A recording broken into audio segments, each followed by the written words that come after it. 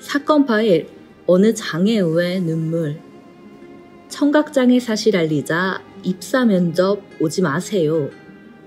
청각장애 사실을 알리자 입사 면접을 취소당했습니다. BBC 코리아가 최근 한 청각장애우의 안타까운 사연을 소개했습니다.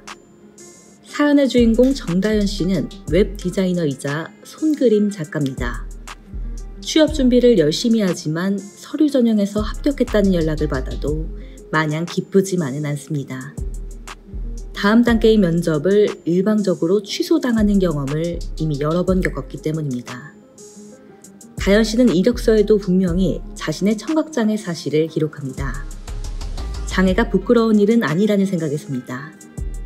하지만 뒤늦게 장애 사실을 확인한 회사들은 아무 이유 없이 면접 취소 통보를 하곤 했습니다. 취소 이유를 물으면 제의를 잘못했다거나 지원이 어렵다는 등 애둘러 말하곤 했습니다. 다현 씨는 솔직하지 않은 모습이 더 싫었다고 전했습니다. 상황이 반복되자 다현 씨는 면접에 가기 전 자신이 먼저 앵무새처럼 반복해서 청각장애 확인했냐고 물어봐야 했다고 말했습니다. 다현 씨에겐 자신의 장애를 계속해서 확인해야만 하는 시간이었습니다. 다현 씨는 처음엔 당황했고 원래 이런 건가 싶으면서 불쾌했어요. 몇 번 반복되고 나서야 아, 다 이런 거구나 하고 익숙해졌어요. 하지만 무기력한 기분이 드는 건 어쩔 수 없다라고 말했습니다. 취업을 준비하던 초반에 다현 씨는 장애인 취업 사이트를 사용했습니다. 하지만 대부분 시간제나 최저시급밖에 없었습니다. 그는 좀 더 일하면서 비장애인과 똑같이 월급 받고 싶은 욕심이 있었다고 말했습니다. 솔직히 청각장애인과 비장애인 면접자가 있는데 둘 다 실력이 똑같다면 비장애인을 뽑겠죠. 그래서 우리는 좀 더 어필하기 위해서 뭐든지 해요. 다현 씨는 한국 취업 시장이 청각장애인들에게 매우 불리하다고 말합니다.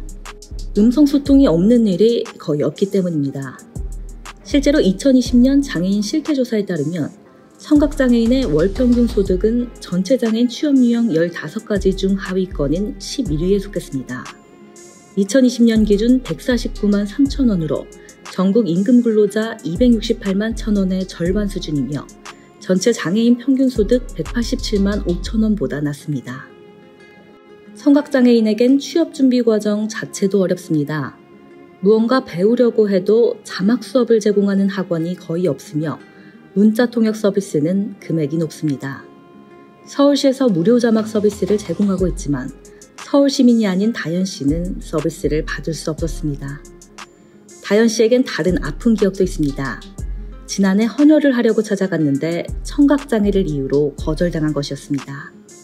헌혈센터 관계자는 질문이 많은데 청각장애인이 그를 어떻게 이해해요? 그게 가능하겠냐며 다현 씨에게 물었습니다. 다현 씨가 저는 대학교를 다니고 있다고 걱정은 크게 안 하셔도 된다고 어눌한 발음으로 말했음에도 관계자는 같은 말을 반복하며 헌혈을 거절했다고 했습니다. 이런 다현 씨의 사연은 취업 전문 플랫폼 링크드인에서 크게 화제가 됐습니다. 수많은 사람이 공감해주면서 받은 관심에 다현 씨는 놀랍고 감사하다고 전했습니다. 낮아졌던 자존감도 회복하고 긍정적인 마음도 생겼습니다. 취업 외에도 일상에서 오는 어려움과 차별은 많지만 다현 씨는 계속해서 도전하겠다고 말합니다. 남의 시선 걱정 없이 나의 세계를 단단히 만들고 싶다는 것입니다. 비장애인 중심의 사회에서 청각장애를 가진 취업준비생으로 살아가는 다현 씨의 아름다운 도전을 응원합니다.